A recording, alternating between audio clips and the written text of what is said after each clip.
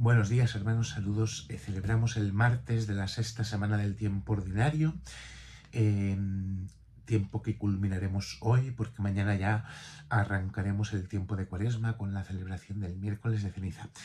Y hoy, como continuación de la lectura de ayer, escuchamos eh, los siguientes seis versículos eh, de la carta del apóstol Santiago, que dice así, Bienaventurado el hombre que aguanta la prueba Ayer eh, el apóstol nos hablaba de eh, las pruebas, ¿no? soportarlas con paciencia.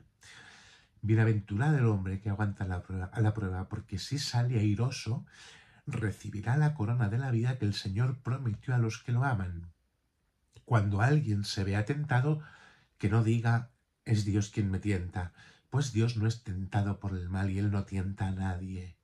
A cada uno lo tienta su propio deseo cuando lo arrastra y lo seduce, pues el deseo concibe y da a luz el pecado, y entonces el pecado cuando madura engendra muerte. No os engañéis, mis queridos hermanos. Todo buen regalo y todo don perfecto viene de arriba, procede del Padre de las luces, en el cual no hay ni alteración ni sombra de mutación. Por propia iniciativa nos engendró con la palabra de la verdad, para que seamos como una primicia de sus criaturas. Bueno, hasta aquí la lectura. Dios no tienta a nadie, no nos inclina al mal, que eso es lo propio de la tentación. Dios permite la tentación y concede vida eterna a los que con la ayuda de la gracia la superan. Esto es como el resumen. ¿Mm? Entonces, nosotros podríamos pedirle a Dios que la tentación no nos alcance, eh, y si hay que entrar en ella porque no queda más remedio, hay que pedir fuerza para soportarla heroicamente, para combatir, para que termine cuanto antes. Eh, la tentación no va a dejar de existir eh, hasta que nos muramos. De hecho, cuando nosotros rezamos el Padre Nuestro, lo que le pedimos a Dios no es que nos la quite, sino que no nos deje caer en ella. Entonces, eh, lo normal es que en función de las circunstancias, el momento en el que uno está de la vida, pero lo normal es que haya muchas y variadas tribulaciones que a uno le turben y generen tentaciones concretas. Y esto a veces viene, pues, incluso a propósito, pues, de males físicos o, o de otros sufrimientos que uno pueda tener, que, que tú no lo quieres y generan tentaciones concretas o, te hacen quejarte o protestarle a Dios.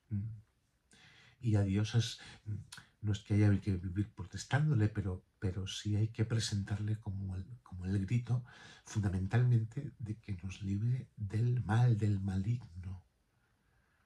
Del maligno que va a buscar siempre apartarnos de Dios queriendo que nosotros caigamos en la tentación.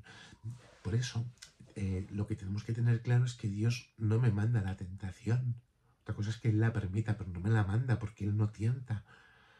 Y hay que saber ver que Él me tiende una mano y me ayuda con su gracia para soportarla, para combatirla, para llegar a vencerla. ¿Qué hace falta? Eh, pues mirad, es muy bonito que en la lectura seamos conscientes de lo necesaria que es en nuestra vida una educación de todo lo que es el deseo, el afecto, porque bien decía el, apóstol Santiago, eh, que a cada uno lo tienta su propio deseo cuando lo arrastra y lo seduce. Y después el deseo concibe y da luz el pecado y entonces el pecado cuando madura engendra la muerte.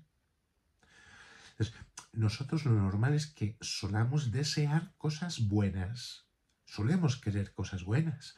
Yo siempre digo que un ladrón desea cosas buenas. La maldad, la maldad está en el acto que realiza. ¿Dónde empieza eso? Eh, en que el deseo se puede pervertir, se puede desordenar, porque hay un afecto ahí desordenado. Por esto, eh, hoy nosotros vivimos en un mundo que es un alfabeto en esto. Nadie, nadie te educa en una en cómo interpretar un lenguaje eh, y, vivir con una afectividad sana.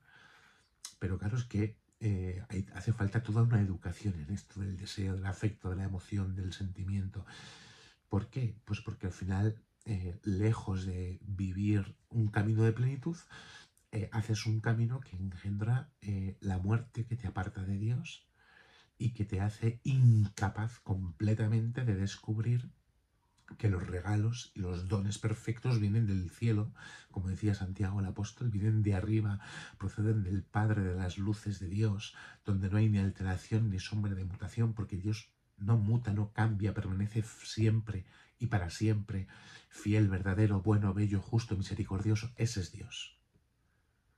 Ese es Dios, que no cambia. Que no cambia. Esto que decíamos ayer del hombre inconstante que titubea, que mm, ahora piensa así, ahora piensa asá, hoy dice esto y dice otro. Dios no muta, no cambia, Dios es fiel en lo que es fiel. Eh, a es el que tenemos que seguir y por quien nos tenemos que dejar hacer. Que Dios os bendiga en el nombre del Padre, del Hijo y del Espíritu Santo. Amén.